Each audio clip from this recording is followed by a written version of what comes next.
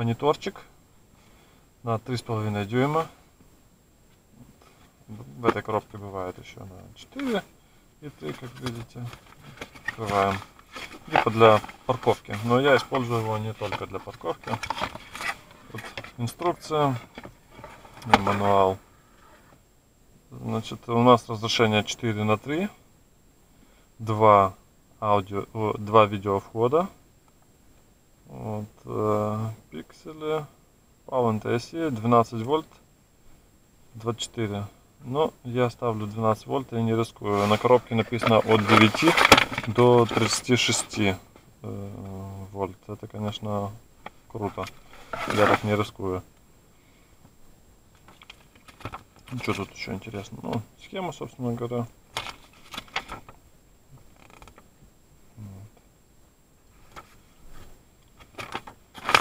Сам мониторчик. Значит, это кабель питания для него. Так, все, в коробке больше ничего нет. Коробку убираем в сторону. Пленочка такая.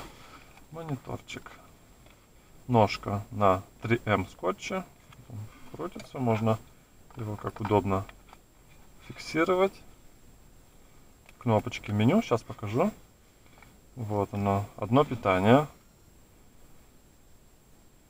С одной стороны питание, с другой стороны просто кончики провода. Ну, плюс-минус. Понятно, черный минус.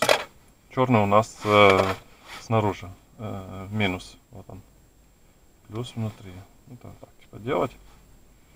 Подключаем одну камеру. У нас работает мониторчик. И показывает нам картинку. Если мы подоткнем другую камеру, то эта камера выключится, заработает это. Вытащим, вернется все на первую камеру. То есть очень удобно сделали. Покажу его в действии. Значит, вот у меня здесь он находится такой же мониторчик. Включаем его. Вот она картинка. Можно чуть-чуть ближе. Вот. И какое достаточно? Какое меню здесь? Вот, то есть меню плюс-минус. Такое. Я выломал, вырвал ножку. Еще использую этот мониторчик для видеонаблюдения и э, как э, вывел камеру на лестничную площадку и показывает, кто у меня там стоит. Значит, нажимаем меню, это у нас что? Яркость, да? Контрастность, цвет. И можно крутить. Очень удобно. То есть, э, как мониторчик право, лево, видите, как меняется все. Очень удобно. И ресет. Все. Вот э, все меню. Тоже, это у меня стоит камера заднего вида. Я сделал так, что она у меня постоянно показывает. Если я захочу еще поставить вперед камеру, да, то мне надо будет сделать какой-то переключатель подключить туда же э, ко второму видео входу камеру. И если я нажму переключатель, у меня автоматически выключится задняя, включится передняя. Вот такая вот система. Как я установил. Значит, очень удобно тут его прятать. И вот так ставлю и еду, паркуюсь. Вот, вот тут такая была пепельница. Это у нас Шкода Фабия, кто смотрит видео. Вот. Я ее вытащил, открутил три самореза, снял э, сюда чуть-чуть, снял вот кожух от коробки передач, протянул кабель вот сюда, вот он виден, под ковриком, э, по порожкам и туда назад. Сейчас покажу, как у меня камера сзади показывает. Вроде не показывает, а как она, как я ее установил. Покажу, расскажу. Выходим из машины.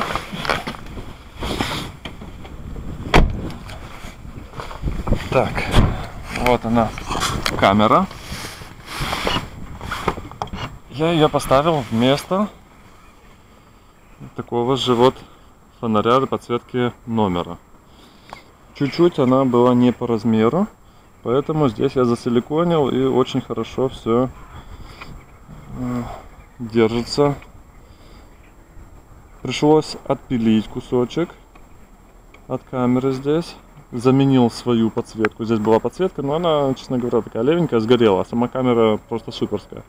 Чуть-чуть расширил металли... э, пластмассовые отверстия, чтобы подходило, потому что пишут, что и Porsche Cayenne подходит и куча разных камер.